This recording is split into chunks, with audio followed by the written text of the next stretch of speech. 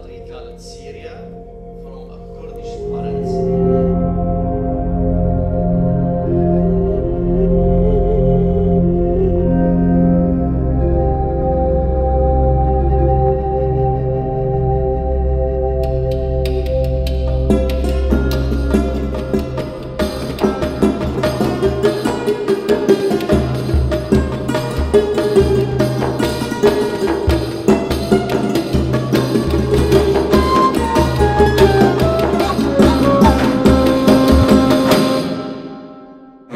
diciamo che si prende coscienza di, di cose che non vediamo tutti i giorni, quindi mi è piaciuto molto per questo. Ecco.